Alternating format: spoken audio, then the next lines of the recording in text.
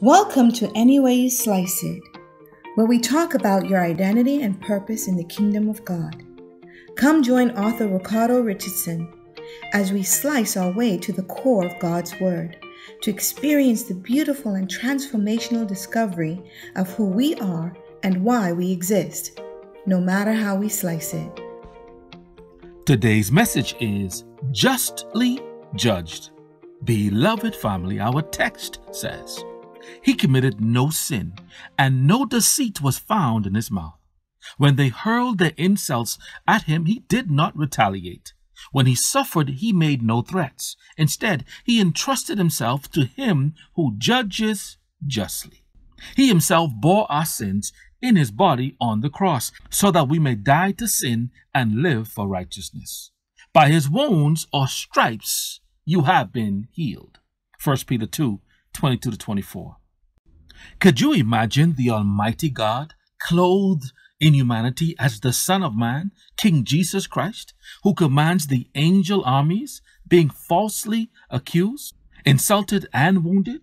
No deceit was found in his mouth, and he committed no sin. He didn't retaliate, exhibiting long suffering and temperance, fruits of the Spirit. What would you do in that situation? All the power in the world and having to be subjected to insults and ridicule. I know what I would have done. Because you know our God got that fire. Ask Elijah. He burned up 400 false prophets of Baal. And Jesus could have easily called down the fire from heaven and burn up all his accusers and haters who were doing so unjustly.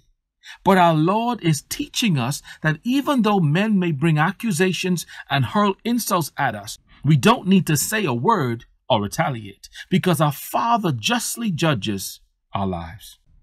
King Jesus tells a story that we should always have faith, be prayerful, and persistent when facing situations in life that seem to have us defeated against our adversaries.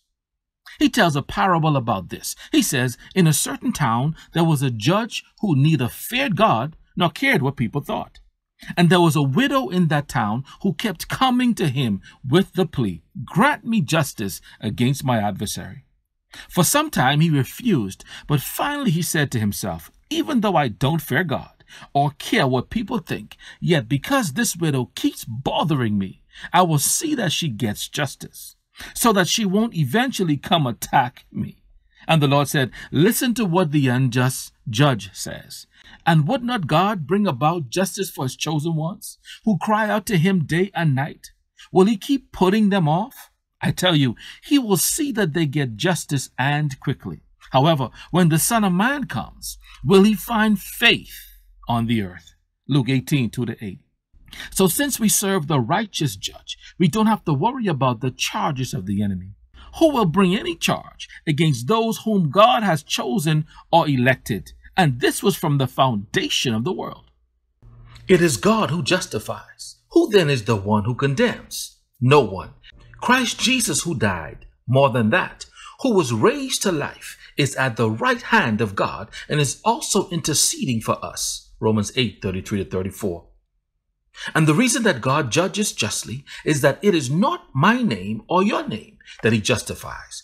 It's in Christ Jesus' name who intercedes for us. Because until Jesus, every covenant God made with man was imperfect because of man. The covenant with Adam failed. The covenant with Noah failed. The covenant with Israel failed. The covenant with King David failed, as it relates to the imperfection of man, not God. So God, in order to judge justly, had to make a covenant with himself. The covenant with Christ Jesus was a perfect covenant that God made with himself. He says, For my name's sake, I do this. Moses says, What will the people say about you if you destroy these your people? When God is judging us and we are in Christ Jesus, God is judging justly because he is judging himself. Our family, please let this settle in your spirit today. If we call on the name of Jesus Christ, obey and bow to his name, we will be justified. Because he loves me, says the Lord, I will rescue him. I will protect him, for he acknowledges my name. He will call on me and I will answer him. I will be with him in trouble. I will deliver him and honor him. Psalms 91, 14 to 15. It's not about your name. It's not about my name. It's about the name of Jesus Christ. He is in covenant with God, signed, sealed, and delivered by his blood. Now we can see why John the Revelator wept in Revelation when there was no one to break the judgment seal of God. If there was no one who was worthy, all mankind would have been destroyed. But behold, the Lamb that was slain has triumphed and restored the people of God to God. Interesting that the angel didn't say, Behold the lion or the king, because it was the humility, surrender, innocence of the sacrificial lamb that was substituted for our judgment. Can you imagine how elated Barabbas was? He was guilty and on death row.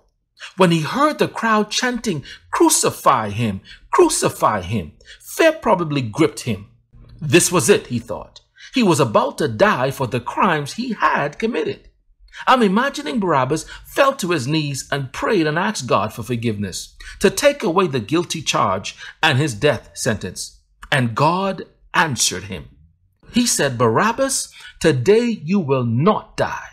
Jesus, my only begotten son, will die in your place. Wow. Can you imagine what Barabbas' faith was like after this? His name means Bar Abba, or son of Abba, son of God. That day, Yahweh Elohim substituted his innocent begotten son, Jesus Christ, for his guilty son, Barabbas, who represented all of us. Hallelujah. Glory be to God. Because of the blood and sacrifice of the Lamb of God, who is our Lord and King, we have been forgiven, pardoned, and justly judged. Much love.